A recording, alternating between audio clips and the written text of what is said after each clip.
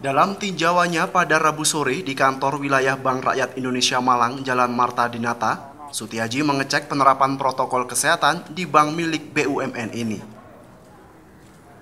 Sutiaji juga mengecek pelayanan perbankan bagi nasabah yang dipindah ke gedung baru yang terletak satu kompleks dengan kantor wilayah yang ditutup pasca tujuh karyawannya terpapar virus corona.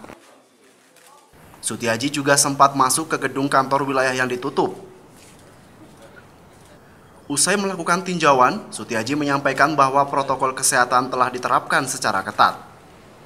Sementara untuk penutupan gedung akan dievaluasi setelah 10 hari penutupan saya memastikan bagaimana sih kemarin yang eh, gedung yang ada salah satu konfirmasi positif yang meninggal dunia. Saya sudah lihat di lantai tiga sudah ditutup total, lantai empat tutup total, lantai dua juga tutup total, dan sudah dilaksanakan penyemprotan disinfektan. Setiap ya, setiap hari sudah dilakukan ya. Semuanya sterilisasinya sudah. Saya tambahkan tadi AC-nya coba dimatikan bertahap ya, karena harapannya biar tidak ada regenerasi dari virus. Sementara itu, menurut pemimpin wilayah BRI Malang Prasetya Sayekti, setelah melakukan proses tracing, karyawan juga langsung di swab.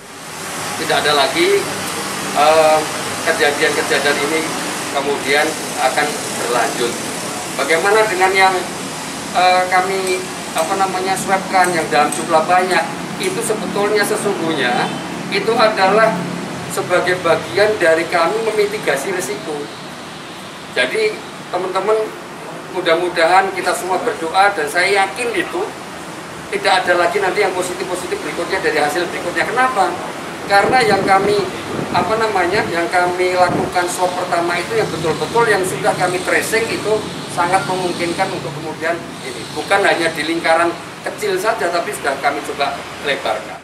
Kejadian di lingkup BRI Malang menjadi pelajaran untuk bank lainnya agar lebih memperhatikan protokol kesehatan yang ketat.